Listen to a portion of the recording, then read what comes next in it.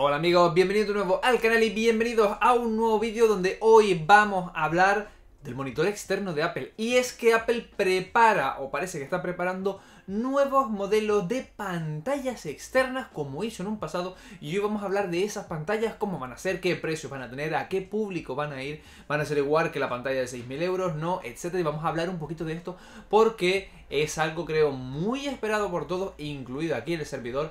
Y ya os digo que si sale como posiblemente pueda salir, vais a ver una pantalla externa de Apple aquí atrás donde está esa que tengo por ahora, porque yo estaba esperando precisamente a que saliera. Parece que este 2022 va a ser el año en el que Apple, creo que se ha dado cuenta, que tiene falta de pantalla. Antes tenía la Cinema Display, una pantalla 1080 que tuvimos durante muchos años, que era muy buena, muy buena calidad y que acompañaba pues a tener un segundo monitor en el caso del que tenga iMac, etcétera, o que era la pantalla principal para aquel que tuviera Mac Mini o un MacBook, etcétera, o quien tuviera por ejemplo un Mac Pro.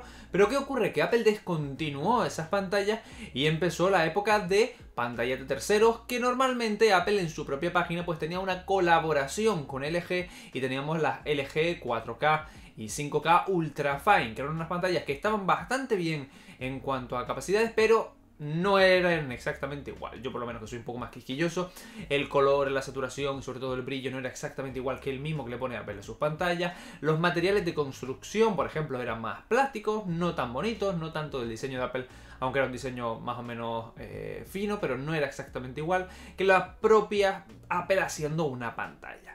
Y obviamente ese tiempo Apple pues no le dio mucho bombo al tema de las pantallas, pero cuando llegó el Mac Pro tenía que sacar una cosa pues alrededor del Mac Pro al mismo nivel. Y sacó la pantalla XDR, una pantalla de 6.000 euros sin peana y sin nanotextura. O sea, empezando solamente por los 6.000 euros, porque era una pantalla referencia cine, no referencia monitor para pues trabajo semiprofesional o simplemente trabajo de casa. ¿Y qué ocurre? Que obviamente mm, gente más mm, pudiente se lo puede permitir, pero otra gente no. La mayoría de la gente para un Mac Mini no se va a comprar una XDR de 6.000 euros más peana, más no sé qué, no sé cuánto.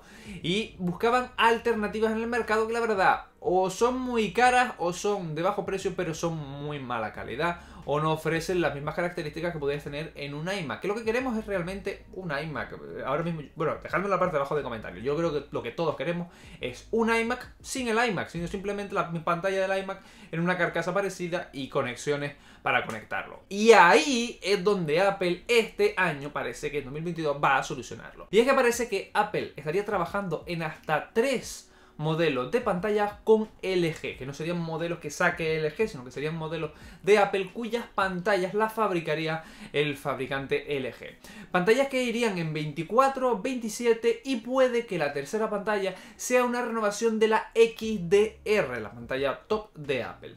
En el caso de 24 y 27 pulgadas serían más o menos las pulgadas que tendrían los iMac, es decir, el de 24 pulgadas acompañaría obviamente al iMac de 24 pulgadas. 27 pulgadas acompañaría al futuro iMac de 27 pulgadas, que puede ser 27, puede ser 29, pueden ser 30, todavía eso no está claro. Pero que tendría las mismas pulgadas que el iMac que Apple saque en 2022, el grande, y luego tendríamos una gran pantalla XDR que se renovaría, más o menos mismo diseño, pero sí que se renovaría en cuanto a tecnologías interiores. Os recuerdo que, por ejemplo, la XDR actual no tiene mini LED, cosa que ya empiezan a llevar pues los iPad o los últimos MacBook 14 y 16 pulgadas y es posible que el mini LED llegue a estas pantallas pues para darle más contraste, más brillo y más eh, calidades a esa super pantalla. Pero lo que nos interesa son 24 y 27 pulgadas. ¿Qué van a tener? ¿Cómo van a ser? Seguramente van a ser unas pantallas muy finas, tirando más o menos el estilo que tiene el iMac de 24 pulgadas, porque como digo, Apple lo que pretende, o creo que pretende, es unificar diseños entre el iMac de 24, 27 y las pantallas, para que todo sea muy parecido y sea todo en la misma línea. Pero obviamente dentro no va a tener procesador, aunque hay patentes, algunas patentes que hablaban de que alguna pantalla pudiera tener algún pequeño procesador para ayudar a toda la transferencia de, datos entre el monitor y el PC o el Mac en este caso, el Mac Mini o lo que sea, para que no tuviera que hacer tanto trabajo la carga gráfica, la propia tarjeta del ordenador, sino que el monitor se gestionase ese apartado y dejar la parte eh, de la tarjeta gráfica, o en este caso eh, los chips Apple Silicon, libres ya simplemente para el trabajo normal y que todo eso lo gestionara la pantalla. Pero bueno, venga con chip o sin chip, mm, simplemente va a ser eso, una pantalla 24-27 pulgadas, una línea muy fina, seguramente no tendrá altavoces, pero puede que tenga alguna conexión de auriculares. Y aquí está la gran duda, Apple puede poner HDMI o simplemente puertos USB tipo C como estándar de transferencia. Y es que el USB tipo C va a ser el estándar también en la transmisión de vídeo, cada vez más monitores, sobre todo los monitores más profesionales, para que sea más rápido y además eh, con calidad, transmiten a través de USB tipo C o Thunderbolt incluso, pero, pero, es verdad que muchos eh, dispositivos tienen todavía HDMI, por ejemplo, consolas, etc. Así que no sería nada descartable y además para mí en mi caso sería deseable que el monitor traiga al menos uno o dos cables eh, perdón, puertos HDMI, por ejemplo, para conectar las consolas de aquí atrás, etcétera, me vendría genial. En cuanto a calidad de pantalla, hay muchas dudas. ¿Por qué? Porque esto es lo de siempre. En principio, el precio que Apple querría ponerle a esta pantalla estaría en torno a los 1.500, 2.000 dólares, euros aproximadamente. Ese sería el rango que Apple estaría buscando de pantalla, que puede decir, sigue siendo una pantalla muy cara, hay pantallas por 200, 300 euros ya, pero que Apple busca darte una pantalla de calidad sin ser la XDR de 6.000 busca dar un monitor bueno de referencia que los profesionales se puedan comprar si no son profesionales nivel cine que necesitan la de 6-7 mil euros. Entonces no penséis que es una pantalla de bajo costo, sino es una pantalla de muy buena calidad hay monitores de referencia de BenQ, por ejemplo, que están en torno a eso, los 800, 900, 1000. Pues Apple buscaría buscar algo de eso, la categoría, pero con mayor calidad. Pero claro, el problema es que si en su interior empezamos a ponerle tecnología e empezamos a ponerle cosas, la pantalla va a ir subiendo de precio y eso es lo que el usuario creo normal no quiere, porque si le empezamos a poner cositas tipo mini LED, tipo no sé qué, no sé cuánto, lo que va a pasar con esa pantalla es que va a ir subiendo de precio. Si por ejemplo esa pantalla, cogieran actualmente la pantalla 5K que tiene la iMac de 27 pulgadas, la pusieran en un nuevo marco, estilo nuevo, etc.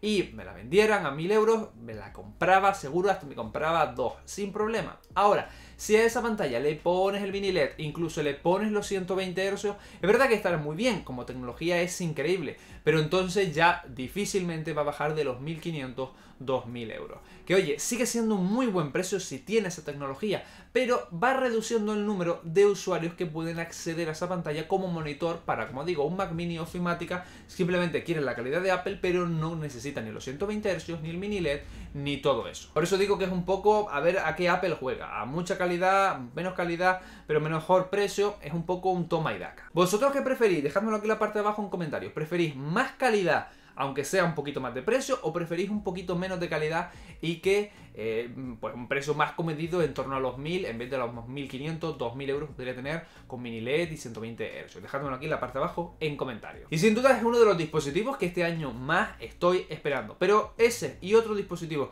muy interesante es lo que te voy a comentar en el próximo vídeo. Así que ya sabes, suscríbete, campanita para que cuando suba ese vídeo, porque ya este se me ha terminado, mm, pues te cuente qué dispositivo es, cómo viene y demás. Y también te lo voy a contar en redes sociales como Twitter, Facebook, Instagram, TikTok, mm, podcast y demás. Todo eso lo tenéis aquí abajo en un super enlace. Ahí está todo ya eh, configurado. Y nos vemos en el próximo vídeo del canal. Hasta la próxima.